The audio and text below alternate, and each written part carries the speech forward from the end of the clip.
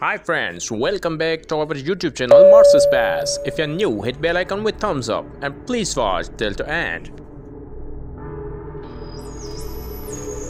NASA's Mars Perseverance rover acquired these images using its left Mastcam Z camera. Mastcam Z is a pair of cameras located high on the rover's mast. Here's the special and final post with the latest photos from uh, Mars 2020 update. It was a long job, many photos, but I tried to show you as much as possible these beautiful landscapes. Photos were often blurry and AI could not always rebuild the image with sharpness. Better than that, it was impossible.